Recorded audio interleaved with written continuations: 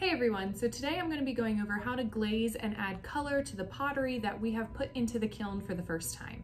There are a couple of things that you really want to know about glazing. The first thing is that our glaze is going to be in these little jars here and we have a bunch of different colors to choose from.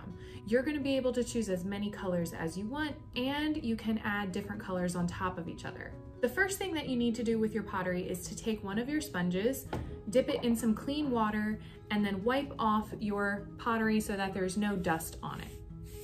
You wanna get the inside and the outside. It doesn't have to be soaking wet, but you're just cleaning off the pottery so that there's no dirt to cause the glaze to not stick to it. What happens if you don't clean off your pottery is sometimes you can have your glaze flake off in the kiln.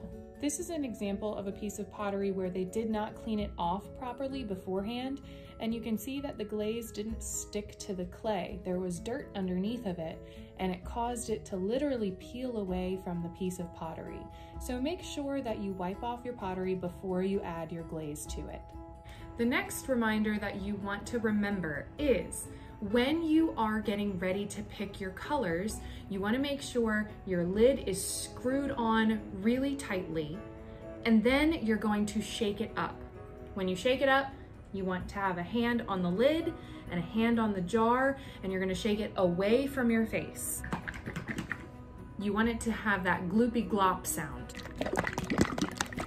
The reason you wanna make sure it's screwed on tight and then you shake it away from your face is because if you don't hold it and you shake it at your face, you could end up with a mouthful or a face full of glaze and that's not gonna be fun. Make sure you shake up all your glazes before you start to paint them on your pottery. The last thing that you're going to do is you're going to open up your glaze and you can start to paint it onto your cup or whatever piece of pottery you have. Make sure you have water, a paper towel, and your sponge nearby if you need to wipe anything off. When you paint your glazes on, you want to put at least three coats of glaze onto your piece of pottery. The way that I remember how to do this is you're going to dip your paintbrush in, paint it one direction,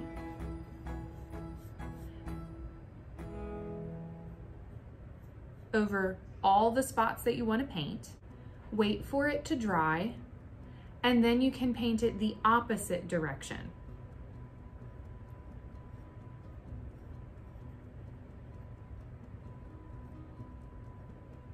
Wait for that second coat to dry, then you can go back the first direction you did.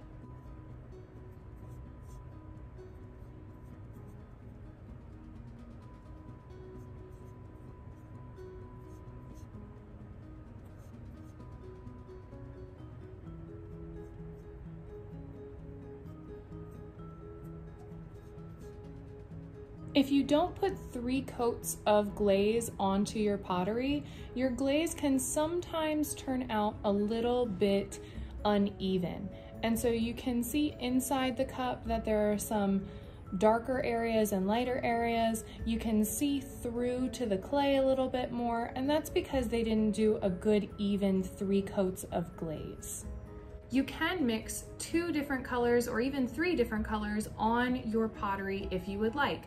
You just have to make sure that you wash your brush out really well in between colors. And then you're gonna shake up your other colors really well. And you can either put them in a different spot on your pot or you can overlap them to see what they would look like mixed together, which would be really cool. If you're overlapping colors, you only need three coats total. But if you're putting colors in different areas, make sure all of your areas are covered with three coats of glaze. The last thing you wanna remember is to not glaze the bottom of your pot. If you get glaze on the bottom, it will literally fuse itself to the kiln and it will be really difficult to get off the bottom and then you'll have all of these little bad textured areas on the bottom of your pot. If you accidentally get some glaze on the bottom of your pot, all you're gonna do is take your damp sponge and wipe it right off. It doesn't even matter if it's dried on there. It will come off with a wet sponge if you wipe it. You can try out all different glaze combinations. You could do your glazes in a different pattern. You could have different areas be different colors. The inside could be different from your outside. That could also be different from your handle. So try out all different things and experiment and have fun.